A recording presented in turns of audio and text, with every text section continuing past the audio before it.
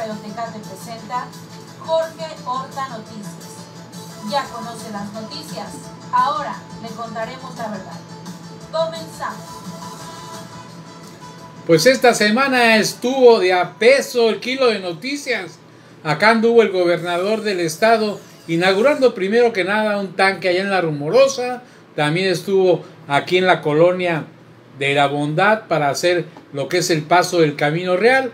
Y también estuvo en el CONALEP, en el CONALEP de aquí de Tecate, dando ahí pues indicaciones de lo que se debe de hacer aquí en Tecate. Pues fue recibido por los, los vecinos de la comunidad de Tecate, muy gustosos, el gobernador hizo una gran gira. También pues tenemos la noticia de que las comisiones estatales de servicios públicos del Estado pasarán en la próxima administración a los municipios, lo cual traerá una gran ayuda para conseguir más fondos federales. Y pues entre estas y otras noticias, ya conoce las noticias. Ahora les contaremos la verdad. Bienvenidos a Jorge Horta Noticias, transmitiendo para todos ustedes desde el corazón de Baja California, para todo el mundo. El día de hoy yo le doy la bienvenida en los controles a Atenas Horta y mi compañera de conducción, Floridalma. Buenos días. Hola Jorge, buenos días y les damos una cordial bien, bienvenida a todas las personas que nos escuchan. Les agradecemos su preferencia de estar recibiéndonos en sus casas, en sus automóviles este lunes 26 de julio. Feliz inicio de semana. Son las 10 con 3 minutos y estamos con ustedes en su primer sistema de noticias, en su radio Tecate, en las 6.20 y 14.20 del AM. Pues muy movido anduvo el gobernador este sábado aquí en Tecate. Ahí estuvimos nosotros cubriendo el evento en Conalep, allá en Nido de las Águilas y en La Rumorosa con nuestros enviados especiales. ¿Qué te pareció para empezar como inicio eh, la visita a La Rumorosa donde se inauguró el tanque que va a surtir de agua a ese poblado, mi querida Floridalma? Pues es un, una promesa más cumplida. Los habitantes de La Rumorosa tenían tiempo solicitando esta cobertura y vemos que finalmente este sábado ya se, se da la, el banderazo de salida para que todos los habitantes en el, la rumorosa tengan acceso a, a, el agua que es un bien natural y es un recurso que, que todos los ciudadanos requerimos para nuestras tareas cotidianas. Sí, y sobre todo que se veía un retraso muy grande.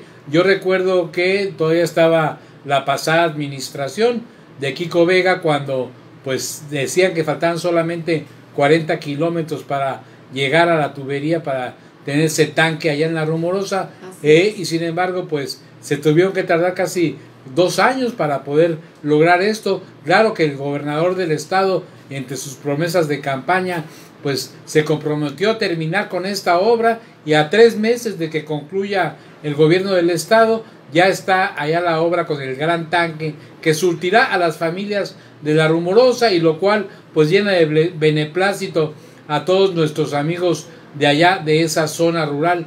Y pues qué bueno enhorabuena.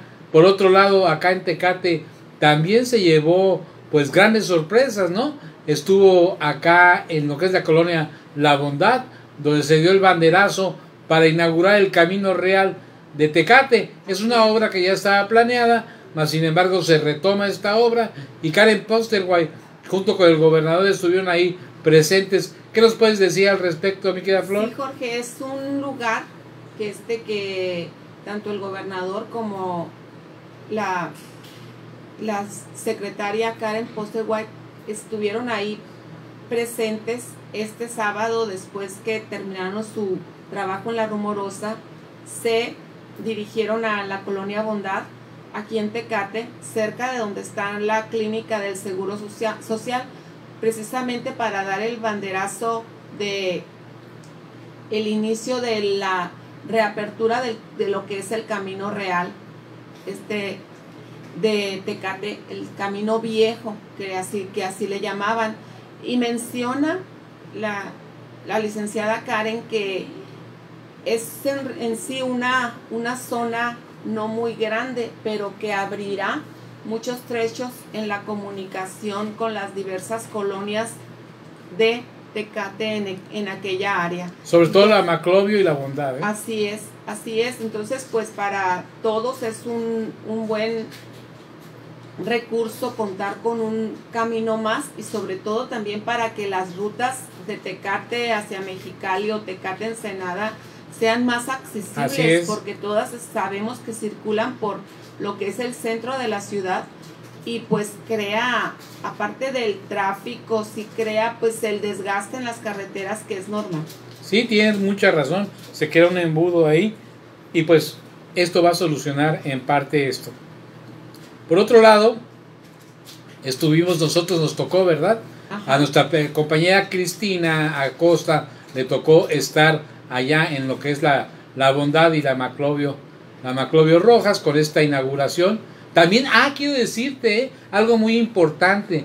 El gobernador se comprometió también para solucionar el problema de los falta de equipo de los bomberos. Una estandarte que hemos tomado nosotros aquí en esta, en esta radio. Desde un inicio estuvimos insistiendo, buscando, haciendo reportes ahí en la televisión, en, nuestra PSN Tijuana, acerca de la necesidad del, del, primero del equipo. Después ya que se consiguió el equipo, pues la imposibilidad de poderlo pasar. y ahora el gobernador del estado, pues eh, tomó cartas en el asunto a solicitadas del doctor Rodríguez que, que fue ahí a, hacerle la solicitud y pues el gobernador ni tardo ni perezoso dijo presta para acá mi chavo yo te lo voy a solucionar y qué bueno qué bueno que el gobernador esté tomando el papel que debía hacer la autoridad municipal pero, pues eso como dijera la Ana Goya eso y la carabina de Ambrosio es otra historia pero pues vámonos a noticias más alegres. A nosotros nos tocó estar acá en el Conalep, como les dije. Platícanos un poco de, de nuestro reportaje que hicimos ahí eh, con los diferentes secretarios, mi querida Flor? Pues mira, Jorge, estuvo aquí el señor gobernador y cálidamente el recibimiento de todos los tecatenses que estuvimos ahí presentes. Cabe mencionar que estuvieron ahí el acompañado del doctor Pérez Rico, también estuvo este el doctor el, el, encargado de seguridad, de seguridad, estuvo también este el de agua, la misma Karen Poste White, el DIF, entre otras. El vato del agua y la morrita de las calles. Sí, como siempre, para ellos se han estado así se dije el de esta manera, ¿verdad? Pero una de las cosas que son muy sonadas, el gobernador comenta que cuando llega a Tecate lo recibe una niña con un, con un dibujo que quiere regalarle, ¿verdad? Entonces, es, para él fue algo muy significativo porque demuestra el cariño que la gente le tiene.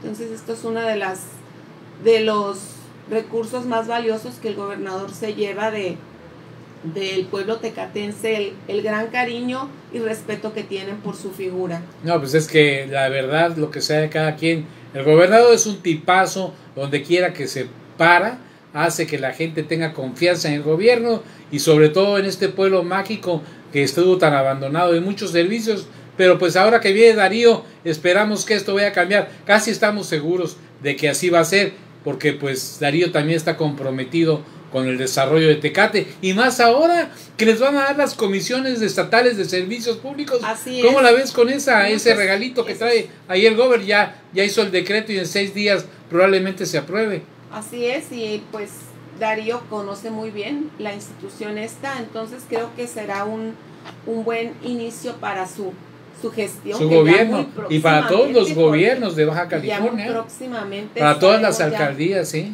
Ya cambiando, cambiando de autoridades tecatenses y pues qué, qué bueno porque sabemos que para Tecate pues lo mejor estará por llegar. Pues se vislumbran de este, sí. de este tiempo de, de oscurantismo, como se lo estaba comentando a Román, pues viene este renacimiento. Sí, después de tanto, después de la tormenta viene la calma y esperemos todos, también debemos de contribuir todos con nuestro granote de arena para que todo Baja California, Tecate, Tijuana, Ensenada, todo Rosarito, pues todos seamos hacia adelante, hacia arriba y que pues aquí tengamos el ejemplo de que donde comienza la patria, comienza la democracia. Y por ahí tenemos un videíto acerca de la visita del gobernador, si es tan favor, Atenas, de, de correrme, lo ponle al play ahí, por favor. Secretarios, por ustedes. Porque eso fue lo que prometimos. Un gobierno de pueblo.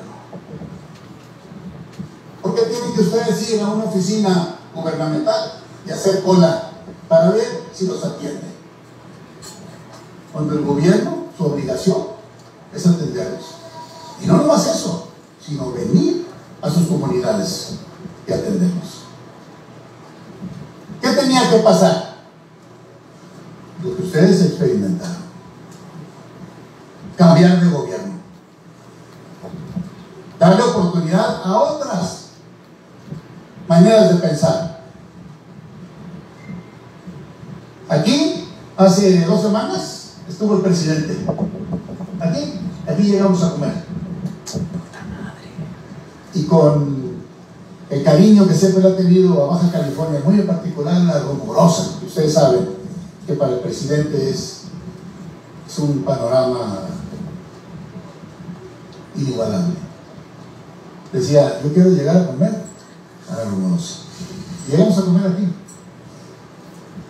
Y me decía, sí, tenemos índices altos de, de homicidios, Jaime, tenemos este, muchos problemas con temas de seguridad como lo tenemos el resto del país. Pero en Baja California hay paz social. Con todos los obstáculos y los problemas que podemos tener como comunidad social. Y me decía el presidente que una característica de Baja California. Yo creo que sí. Es el de la rumorosa. Dice, el país son 32 mosaicos de diferentes colores. Cada estado tiene un color diferente. Dice, pero Baja California tiene todos los colores en el mismo mosaico. Que le avises cuando quieras que lo ponga para que nos ¿Por qué siempre he dicho yo que Baja California es un santuario para el migrante? Porque de una manera o de otra todos somos migrantes. Ayer estábamos en una comunidad aquí en Baja California que mucha gente no conocía, mucha gente no conoce. Antonio Negua, una comunidad indígena, para cambiar. Cumillay. ¿Sí lo Durante la transmisión de hoy en la mañana, alguien escribió y me decía. Oiga, gobernador, yo no conozco esa comunidad. ¿Dónde está? Y yo soy oriunda de Baja California. Y les digo, es tan grande y tan bello el estado, las esquinitas, los cerros, los valles, lo que tiene el estado para ofrecer, definitivamente es un destino turístico. Pues fíjate, ahí es, es este la situación que estaba explicando el gobernador del estado sobre su visita a la rumorosa precisamente, ¿no? Donde se hizo esta, esta inauguración de ese tanque que pues va a, a colmar ahí la sed de los, de los eh, compañeros de la rumorosa. Iba a ser gentilicio de rumoricentes, ¿o cómo sería? No, Rumoros. son tecatenses. Son tecatenses de la rumorosa. Bueno, montañeses. ¿Qué tal? ¿Cómo te parece esto? No, pues muy, muy importante y creo que es un mensaje muy apropiado para la comunidad de los jóvenes y de los de las habitantes de la rumorosa Jorge lo que les comenta el gobernador que en semanas anteriores el mismo presidente de la república quiso llegar ahí a comer Sí, con nuestros fíjate. amigos de, de la rumorosa, De la que hay Rumorosa, lugares seguramente. muy Muy bonitos, hay muchos restaurantes muy comer. ricos. Pero más que eso es el, el cariño y el y la La paz social. distinción, Ah, sí. distinción que se les da. Fíjate que por, por otro lado también en la aquí en el CONALEP pues estuvo el secretario de Seguridad Pública Estatal de la Guardia Estatal quien pues hizo ahí eh, pues fuertes declaraciones acerca de que viene disminuyendo el crimen aquí en Tecate de alto impacto. No hemos eh, sabido de otro homicidio eh, de alto impacto como el que fuera en contra de los policías o en contra de los candidatos que a plena luz del día fueron acribillados y masacrados. Ahí hablo de, de tener ya tres detenidos, ¿no? Que también los mencionamos aquí en nuestros Sí, programas, conforme que- fueron cayendo cada uno de las tres personas que, que estaban involucradas en varios, en varios, Don, así es. en varios atentados. Ahí estaba el Chocorrol, el Neto y otro fulanete que no recuerdo el nombre, pero fíjate que ellos eran los principales de generadores de violencia aquí en Tecate. Y ojalá y que den con el resto de la banda. Dice que eran otros dos los que lideraban este grupo de sicarios. Y ya van tres, faltan dos. Y de ahí como mazorca se va a venir desprendiendo todo aquel, todo aquel que, que esté participando en estos delitos. Y ojalá y que el Tecate que todos conocimos pues regrese de nuevo. Por otro lado también este tenemos ahí información de que el presidente municipal entrante pues va a estar aquí con nosotros el próximo viernes. Por ahí tenemos más videos del gobernador Flor. Sí. Bueno, po- pon, pon estos dos minutos y luego le damos, le damos play. policía bajo ninguna circunstancia, ¿no? Les hacías el agosto a los policías. Pero también era conocido por otra cosa, por ser la, la localidad más limpia, el pueblo más limpio del estado. Y se jactaban. Y se congratulaban todos los te- tecatenses y lo presumían. Y con justa razón. Eh, siempre era el pueblo más limpio de Baja California. Entonces cuando vengo a mí me quedó de chamaco esa, esa imagen. Y luego cuando llego y veo una mala, muy mala administración que estuvieron ustedes la mala suerte de tener eh, estos últimos dos años. Y en Morena no hay vacas sagradas.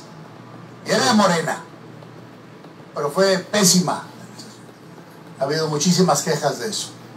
Si pues es por la obra que se hizo por parte del gobierno federal o del estado, no hubiera habido obra. Llegaba yo a colonias donde no conocían a la presidenta municipal. Y es una pena, porque el pueblo no es tan grande. Y en lugar de agarrar la responsabilidad de hacer sus propias jornadas, ir a las colonias y a ver lo que necesitaba la gente, se escondían en el palacio, y en el famoso palacio, porque no sé por qué le llaman palacio, no hay reyes ni reinas. Centro de gobierno. Ahí se escondían. Y nosotros recibíamos todas las quejas. Todas mis transmisiones, que hacemos diario desde que empezó mi gobierno, eran quejas de Tecate. De que debe de venir más yo porque no hay autoridad. Debería venir más yo porque la policía no funcionaba. Cuando vayamos a corte me indicas. Y es una tristeza. Todo el pueblo sabe identificar quién trabaja y quién no trabaja. Fue tan mala la administración de los últimos dos años que cuando la persona que era la presidenta municipal se encuestó para ver si se podía reelegir, no quedó ni siquiera en el mapa. Nadie la aceptó, todo el mundo la rechazó. Ni su Y familia pensaba votó por ella. que porque era morena, todo el mundo iba a decir, no, pues tú. La gente dijo, no. Sabemos quién trabaja y quién no trabaja en Morena también. Regresamos en un momento, ¿no, Flor? así es, Jorge. Vámonos a una pausa y en un momento regresamos con nuestros amigos al aire. Y pues creo que nos vamos a quedar con nuestros amigos de Facebook. ¿Te Pues parece? sí, me parece muy bien. Vamos a, seguir- a seguir hablando sobre, sobre esta visita que, que hizo el gobernador. Ahorita escuchamos parte del discurso. Ahorita que regresemos de, de la pausa, este, vamos a seguir hablando con ese mismo discurso. ¿Ya se acabó? No, no, No, se ha acabado, no, pero le vamos a- falta. Sí, pero ¿qué te pareció eso? Es La experiencia que tuvimos ahí eh, en, cu- en cuestión de con el gobernador. Bájale al... al- al- al- Es que estuvo bastante nutrido el discurso que dio el. Con mucho ímpetu, con mucha injundia. Para los que estuvimos presentes aquí en el, en el CONALEP. Y bueno, pues cada uno de los, de los secretarios ahí presentes se, se llevó su mereti- merecido gasto de aplausos, Jorge, porque hemos visto una administración que ha estado cumpliendo y una administración que ha estado no únicamente trayendo aguas a su molino, sino al contrario, Jorge. Teniendo agua a todos lados. Así es, así es, y que ha estado impulsando desde el gobierno del estado toda la infraestructura de, de Tecate y de Baja California, cada uno desde sus desde sus rincones en los que les corresponde a ellos, ¿verdad? Y también estuvo entregando computadoras, ¿eh? Sí. Estuvo entregando pues un buen número de contu- computadoras. Ahí eh, simbólicamente le entregó como a unos seis, seis niños, pero también estuvo entregando a otros más, ¿no? Así es, estuvo unos que ya venían registrados, pero algunos otros que, que quisieron. Yo miré que ahí se estuvieron formando. ¿Y por qué? Por lo único que les preguntara, les preguntaba era, ¿quieres estudiar? ¿Quieres este ocupas una computadora para seguir estudiando? Pues sí, decían y pues adelante. Y bueno, hablando de las computadoras, pues estábamos escuchando hace ratito el- cómo va a ser la la gestión y la estrategia para el regreso a clases. porque, Escalonado, pues, sí, ajá. así es, pues vemos que, que todavía no hay mucho, mucha claridad en este, en este rubro, sin embargo, lo que se ha dicho es que va a ser de manera escalonada, significa que, que va a haber una estrategia híbrida en la cual va a haber clases presenciales y clases en línea. Significa que el alumno que no vaya a la escuela de forma presencial va a poder seguir tomando sus clases en línea. Además, Jorge, pues como bien se dijo, las clases presenciales no van a llegar todos los alumnos en una primera instancia, va a ser una parte del grupo que se va a atender de forma presencial, al siguiente día la otra parte del grupo. ¿Por qué? Porque no caben en un aula tantos alumnos guardando el protocolo de seguridad. Recordemos que tiene que haber una distancia de un alumno a otro de 1,80 metros, o sea, son dos metros, Jorge, pero son dos metros a la, en forma circular. Por cada uno de los lados, los alumnos tienen que Una tener esa distancia. Así, así es, entonces sabemos que las aulas no son tan grandes, son pequeñas y no, va, no, no se va a poder dar este espacio si no se reduce el número de grupos. Además, muy probablemente se van a estar utilizando en las áreas verdes, o sea, las canchas deportivas para poder tener esta distancia entre un alumno y otro. Oye, ¿tú crees que van a estar los alumnos eh, con mascarilla? Deben de, Jorge, deben de más que los alumnos no están vacunados, Jorge. Los alumnos de, de universidad sí, alumnos de preparatoria no están vacunados, los alumnos de secundaria tampoco. Entonces, obviamente, tienen que traer una mascarilla, tienen que traer su gel antibacterial, tienen que estarse lavando las manos, tienen que tener el protocolo de seguridad. Además, debe de haber filtros, porque el primer filtro deberá ser el padre de familia el que, el que lo tome, que revise a su Que hijo. determine si el hijo va a ir o no. Si amanece con poquita gripa o tos, En pues las que escuelas, no los deje ir. en las escuelas habrá otro filtro más y todo esto a favor de, de mantener esa cultura de higiene, responsabilidad, seguridad en tu salud. Pues me parece muy bien estas medidas que se están tomando. ¿Tú cuántos alumnos calculas que, que podrán estar en una aula? Eh, regularmente son 30 alumnos, ¿no? Los que están. Un poco más, Jorge.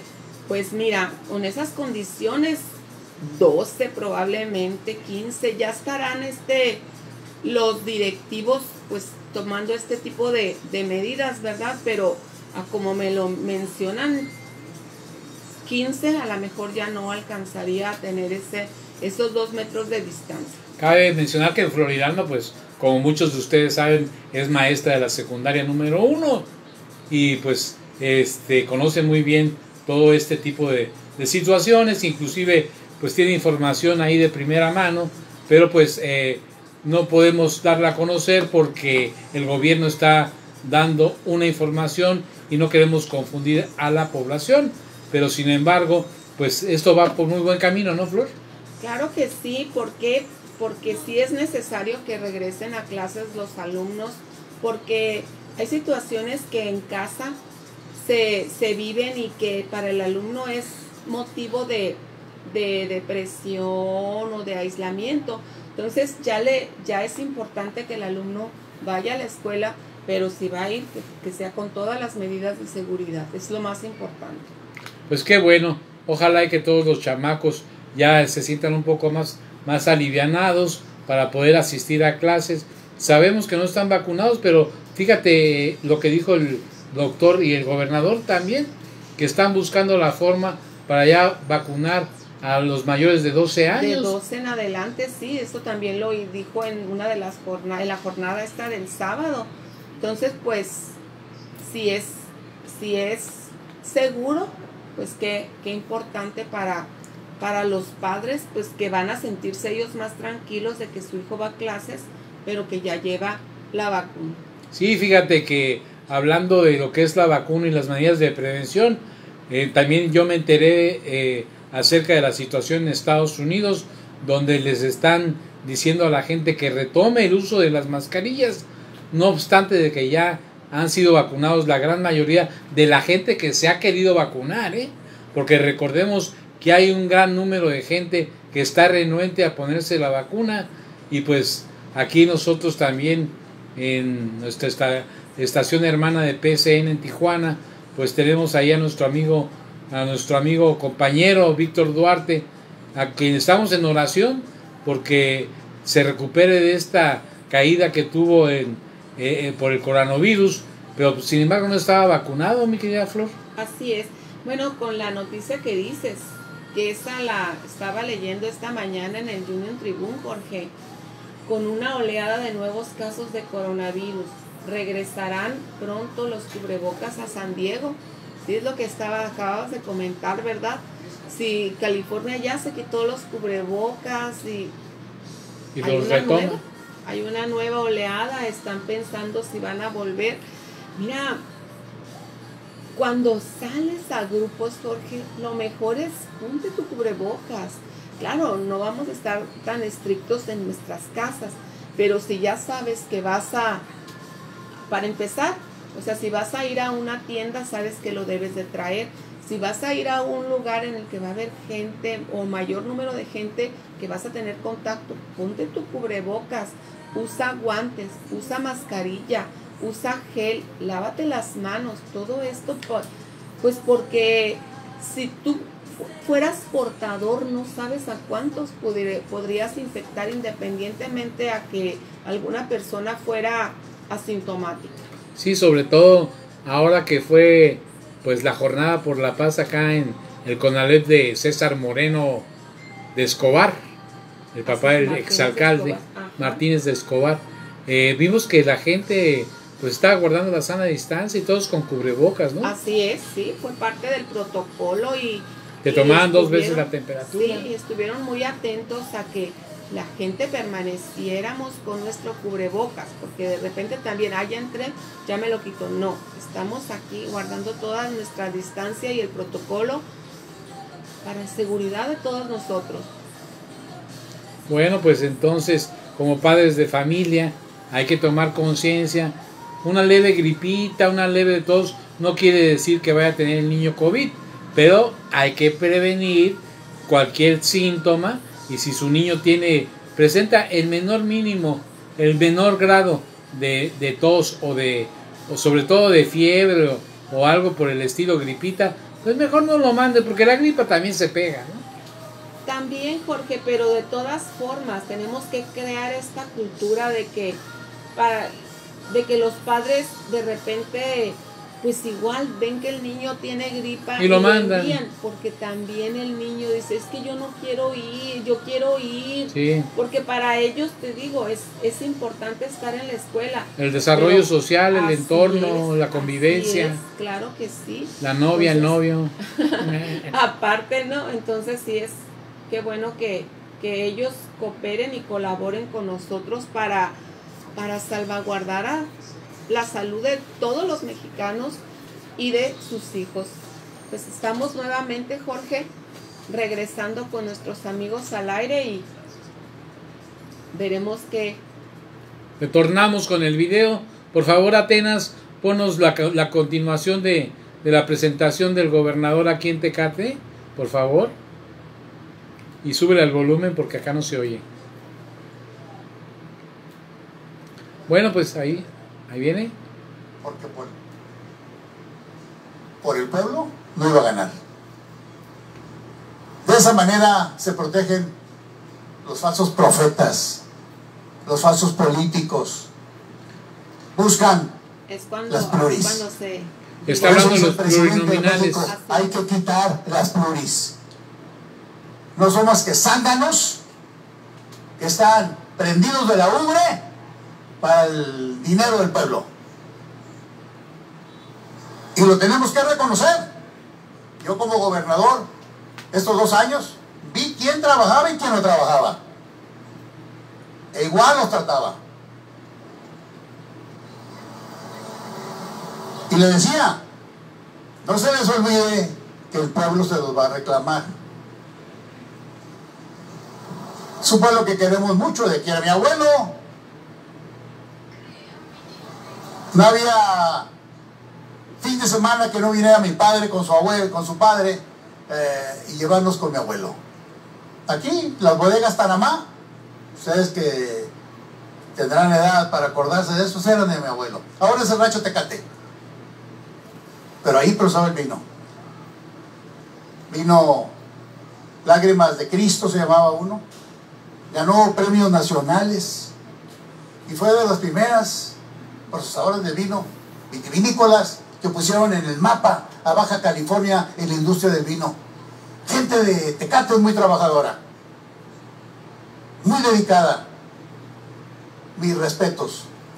Para los niños, pues todas las oportunidades que le podamos dar.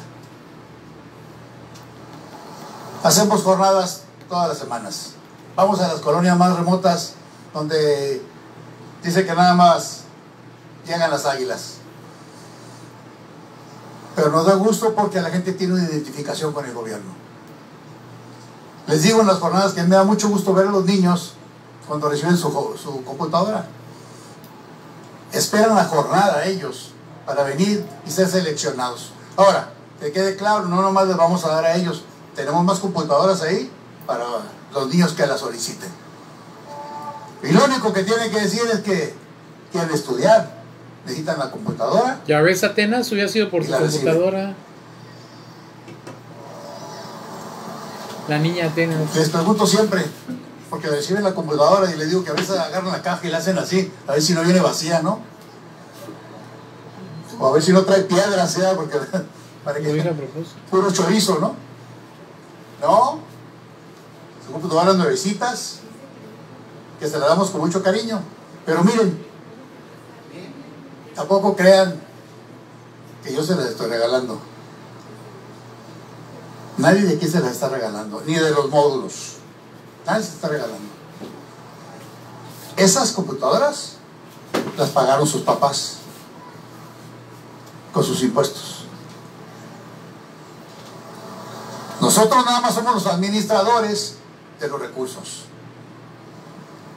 Lo que pasa es que ahora ya no se roban tampoco ese dinero. Porque se robaban todo. No alcanzaba para nada. Decían los músicos y los políticos, nada más alcanzaba para la música. Nada más ellos sí les pagaban. Como los diputados, ¿no? A los diputados que nunca los ven. Porque no van a decir ustedes que ven por aquí el diputado de, esta, de este distrito. ¿O sí? Ahí está. Y ustedes les pagan. Bueno, que cuando no tuvieran un poquito de dignidad y vinieran, aunque no hicieran nada, nomás a pasearse pues, pero que saluden. No, ya no. Ya ellos están otro nivel, ¿no? Ya tenemos que decirles señores, ¿no? No vienen con el pueblo. ¿De qué sirve un gobierno que no tiene identidad con el pueblo? ¿Cómo te llamas, Nico, tú, el que trae esta de colores? ¿Cómo te llamas? Justin, ¿cuántos años tienes? Tú sabes que esa computadora te la pagó tu papá todo, ¿verdad? No fuimos nosotros.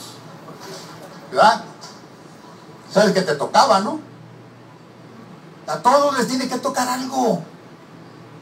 Puro maten al toro. Y el toro no mata a nadie. Dicen en la, en la Liber. Puro para acá. Esa es la ley del asadón. Para los políticos. No saben dividir ni restar, no saben sumar. A los maestros no les pagaban por años cuando entramos al gobierno. Por años. Y yo le decía a los diputados, porque salió un diputado local de Bocón y dijo, qué chillones son los maestros, hombre, para todo protestan, dijo. Y yo le dije a él, yo quiero verte a ti, que no te paguen tu dieta de 15 días, a ver cómo te pones. Ellos tienen 5 años sin que se les pague. A la UABC se le quedó debiendo casi 2 mil millones y por esa razón no había, no había cupo para los jóvenes. Y todas las escuelas privadas acaparaban los campos clínicos. ¿Qué quiere decir con eso? Que el que salía de la universidad, de la UABC, no tenía oportunidad de hacer sus estudios prácticos aquí. Tenían que mandarlo fuera del Estado porque las privadas, el doctor nunca aborda ese tema. Porque le da coraje abordar ese tema del abuso que ha habido histórico. Y a mí también me da coraje, pero lo tengo que abordar porque tienen que saber ustedes qué tipo de gobierno teníamos y el que tenemos ahora. Al final del día, ustedes tienen una arma muy poderosa que se llama la credencial de elector. Dice el presidente, con eso cambian el país. Aquí hay personas de todas las edades. Yo quiero saber si alguna persona que está aquí lo trajeron a fuerzas. Que le dijeron tienes que ir. ¿A alguien le dijeron? ¿A ustedes los trajeron a fuerzas? ¿A alguien le dijo tiene que ir? Para mal, ¿verdad? Que digan. Ese es el gobierno que necesita el pueblo. El que le abre la puerta al pueblo y que el pueblo le abre la puerta al gobierno. Y trabajar juntos. No hay. No somos una isla nosotros. Todos necesitamos de todos. Ustedes nos ayudaron a llegar a esta posición. A llegar a la gobernatura. Y nosotros necesitamos ayudarles a ustedes a resolver sus problemas. De eso se trata. Yo, yo quiero pensar y estoy seguro que ninguno de mis secretarios está aquí por el salario. Yo hubiera resaltado como un dedo hinchado cualquiera uno de ellos. Y así hubiera ido. Porque aquí se trabaja sábado y domingo, ¿eh? También en la semana. Porque hay gobiernos que no trabajaban sábado domingo y me... Nos vamos a corte, ¿verdad? Así es. Estaremos nuevamente con nuestros amigos de Facebook. En un momento regresamos con nuestros amigos al aire. Gracias por continuar con nosotros. Son las 10:40 este lunes 26 de julio. Estamos en primer sistema de noticias Radio Tecate en su 620 1420 del AM. Y como siempre les comentamos a nuestros amigos que nos sigan también en las redes sociales, Jorge, en el Facebook, en el YouTube, en Alexa, en Spotify, en Unánimo Radio. Pues qué bien, qué bien, Flor. ¿Tienes alguna nota ahí para variarle un poquito? Porque yo creo que ya vamos a dejar este, el discurso del Gober, que fue muy bueno, pero pues cuando lleguemos al aire vamos a seguir hablando al respecto, haciendo un análisis de ese, de ese discurso. Pues Eh, fíjate ¿Tienes alguna nota por ahí? Sí, vale mucho la pena seguir este analizando el, el discurso, pero bueno, vamos a, a dar este entrada también para que nuestros amigos de de el aire se enteren de, de qué, qué fue todo lo sustantivo que estuvo realizando el, el gobernador en esta jornada por la paz el sábado aquí en Tecate. Fíjate que otro de los aspectos que, que tomó es sobre las preparatorias mili- militarizadas en Baja California, que son una prioridad. Esto lo declaró el gobernador. Pues sí, fíjate, aquí ya Tecate muy pronto se espera que, que se inicien clases también en esas preparatorias, que son un mini colegio militar. Seguramente, pues muchos de los egresados que estamos ahí eh, recordando las épocas del colegio, pues añoramos que, que esa educación se pueda dar para tener mejores ciudadanos, ¿no crees? Así es, mira, habla la iniciativa del gobernador de Baja California, Jaime Bonilla Valdés, para ampliar el cargo del fiscal general del estado, Juan Guillermo Ruiz Hernández, de 6 a 9 años, responde principalmente al proyecto de preparatorias militarizadas en la entidad, el cual es obra del presidente de la República, así lo declaró el mandatario estatal. Uno de los proyectos más importantes que tiene que tener seguimiento son las preparatorias militarizadas, que es un proyecto del presidente. El fiscal ha estado encargado de este proyecto. Ya tiene dos y la idea es que se hagan seis preparatorias militarizadas para que los jóvenes tengan oportunidad, aseveró Jaime Bonilla. Durante la jornada de la paz realizada en el municipio de Tecate, el jefe del Ejecutivo en el Estado sostuvo que la presencia del actual fiscal hasta el año 2028 brindará estabilidad y más certeza para que se concrete el proyecto. Además, indicó que las preparatorias militarizadas contribuirán a la seguridad en todo Baja California. En especial ayudarán al pueblo mágico donde los índices delictivos han sido muy altos. Pues es que eso les da estabilidad a este proyecto. Ese proyecto es lo más importante. El tema de la seguridad es uno de los temas torales de aquí, argumentó.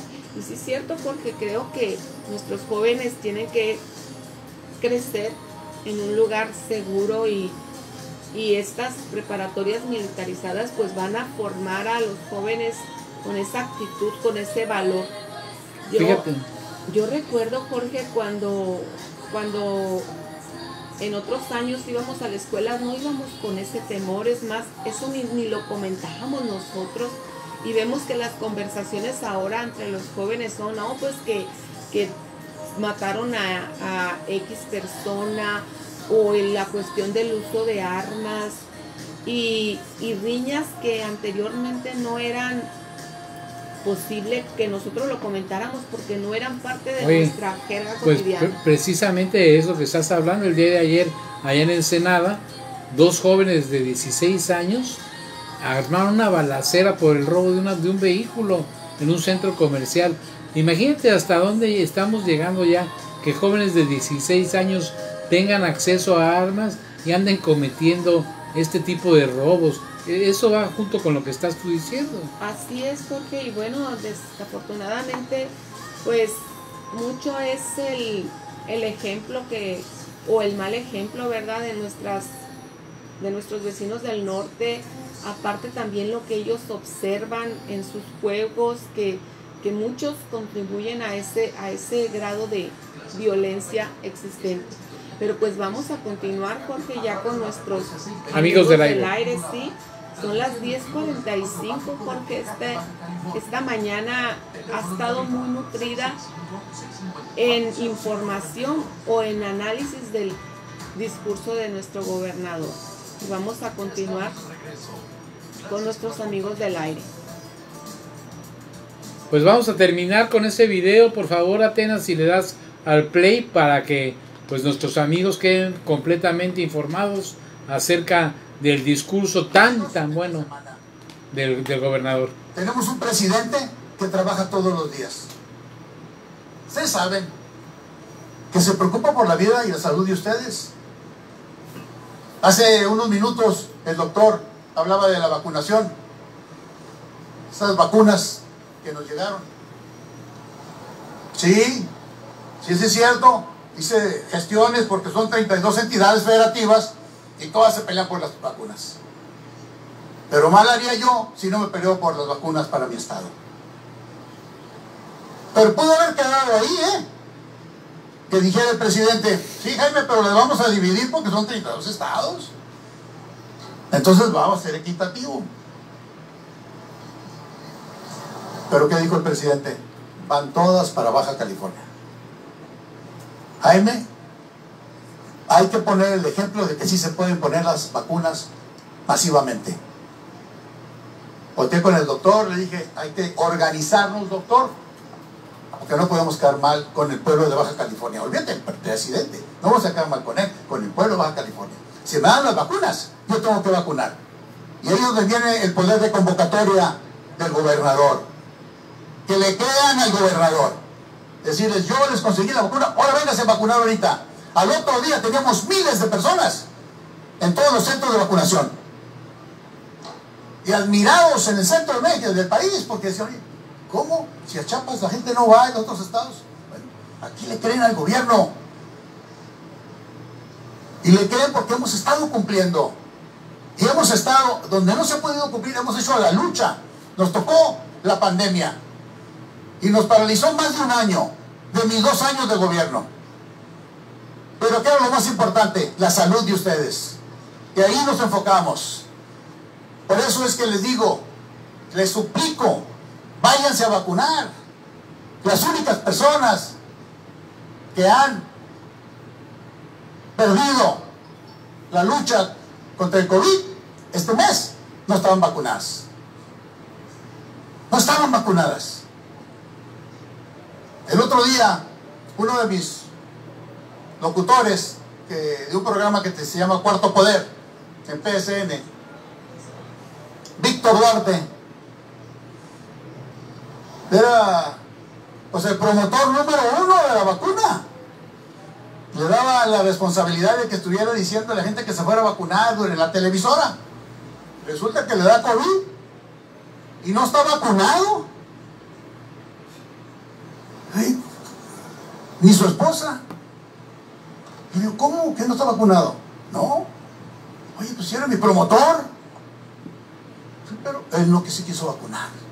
Y ahí está en la clínica ahorita, con oxígeno. Y me duele mucho porque he perdido colaboradores muy cercanos a mí porque no se han cuidado. A mí me dio COVID dos veces, lo sabe el doctor. Y aparte me dio una neumonía típica. Y ni un día dejé de trabajar. Porque para mí era importante el mensaje a la gente. Sí me resguardé, pero desde mi condominio, desde allí trabajaba. Y les decía, yo sé lo que es padecer esta enfermedad. Es horrible. Haz de cuenta que te ponen una bolsa de plástico y te cierran el oxígeno. No hay nada peor que morir asfixiado. Esta enfermedad mata así. Entonces, tenemos que vacunarnos. Este estado tiene vacunas. Que otros estados no tienen. Y dice el presidente, si queremos reaperturar la frontera, tenemos que empezar por Baja California y vamos a vacunar a todos. El doctor hace unos minutos dijo, tenemos el 80%, yo quiero el 100%. Porque esa persona que está enseguida de ustedes, que no se ha vacunado por X razón, situaciones religiosas o ideas de que le están poniendo un chip y, que van a andar como zombies y... De veras, ha sacado todos esos chorizos. Vacúnense. No es cierto. Pues ahí tienes, pues todo ese video completo lo tenemos ahí en nuestro canal de Facebook, por si usted quiere consultar ese video de nuevo darle una repasadita, ¿verdad, Flor? Así es, Jorge, ya lo tenemos y también lo vamos a estar compartiendo en nuestras redes sociales, en YouTube. Y pues creo que también estaremos realizando un programa especial porque porque hay todavía muchas declaraciones que se nos están perdiendo porque no vamos a, poner la transmisión completa, ¿verdad? Pero, Time is money, my friend. No, y sobre todo también porque es importante que la gente conozca. Sí, decidimos poner esta parte que podría ser un poco larga para, para la radio, pero sin embargo de suma importancia para todos aquellos que no estuvieron presentes y que también nuestros amigos en los vehículos, en las casas, en los hogares, pues puedan darse cuenta de cómo el gobernador del estado está cumpliendo en demasía y cómo se compromete, ¿verdad? Para terminar este gobierno, ya escasos dos meses creo que le quedan en el, el 31 de octubre se va, ¿tiene 31 de octubre? ¿Octubre? Sí, ¿verdad? Sí. Y ya en noviembre entra eh, la nueva gobernadora y pues ahí Jaime Bonilla con todo el cierre, cerrando. Si una característica tiene este gobernador, fíjate que se crece al castigo. Así es un término que se dice en el tenis, en el argot, cuando a una persona le van ganando por una paliza. Eh, Muy superior está el competidor. Sin embargo, saca fuerzas no sé de dónde y lo rebasa y le gana. Y dice que se sufre al castigo. Y pues al gobernador le habían prometido cinco años, nada, le dieron dos. Y sin embargo, en dos años, creo que cumplió muy bien con, con, con lo que prometió. ¿eh? En todo, 100 con- promesas, ya lleva todo. 98. Sí, todo y qué bueno. Y mira, es incansablemente sigue, por ejemplo, haciendo un llamado a los baja californianos a que se continúen vacunando. Hizo la gestión para que Baja California tuviéramos acceso a más vacunas. Y bueno, pues todo eso hemos visto sus giras de un lado para otro. Ensenada ha estado, ha estado visitando cada uno de los de los rincones de, de Baja California y, y bueno este fue una de las de las caricaturas que hizo nuestro compañero Abraham Ah, ok. sí que, que Hay que ponerla, hay que subirla, un ¿eh? cambio verdadero soy un gobernador que sí conoce todos los rincones de Baja California yo sí conozco mi gente no como otros que solo les importó el puro dinero y está el el gobernador Bonilla y atrás otros ex gobernadores únicamente cargando sus costales de dinero Como coches millonarios. Así es. Y él, él este sí conoció y sí conoce su estado. Este es un cartón que hizo nuestro compañero Abraham y pues está en BSN en línea ahí para la gente que Ah, pues hay, hay que, hay que decirle a, a nuestra querida Isis que, que lo ponga en el video de YouTube, ¿no? De hoy. pues a ver si puede poner ese cartón. Claro que sí, ahorita en un momento le, le platicamos, Jorge. Bueno, mira, y también quiero aprovechar este tiempo que nos queda para todos nuestros amigos de la alcaldía de Tecate, del pueblo mágico, decirles que pues se vienen muy buenos cambios para Tecate, entre ellos pues se vislumbra, aquí lo dijo el alcalde, el, el alcalde electo Darío Benítez, nos lo dijo acá en, en Top Secret, pero pues ya saben que a veces hay que ganarse la exclusiva y pues probablemente adiós al Palacio Municipal de Tecate, ¿no, Flor? Ay, sí, fíjate que sería formidable ya que este que esta se utilizara como a mí se me antoja como una casa de la cultura, una algo un edificio que es histórico, pero ya es este Pero la pura fachada, ¿eh? ajá, Porque la verdad que yo que he trabajado durante más de 30 años ahí cubriendo la, la fuente del palacio, son puros remerendos de parches, todas las oficinas, los techos ya no sirven, en fin, está muy, muy deteriorado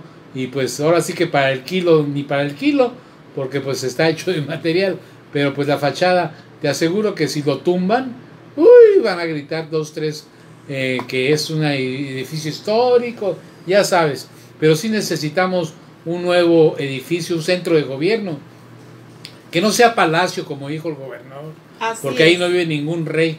Así es, Jorge, y pues de esta manera nos estamos despidiendo ya de nuestros amigos. Déjame destapar a dos, que tres, ¿no? Antes A de ver, irnos, pues, ahí por ahí se dice que, que este eh, Villalobos, Felipe Villalobos, va a ocupar ahí la, la, la jefatura de bomberos. También se habla de Celso, Celso Figueroa en la dirección de seguridad pública. ¿Quién otro se me escapa ahí de los que destapó Pues Darío? en obras, no sé. ¿Quién? En obras. Ah, en obras públicas a, a Iván Sánchez así también. es.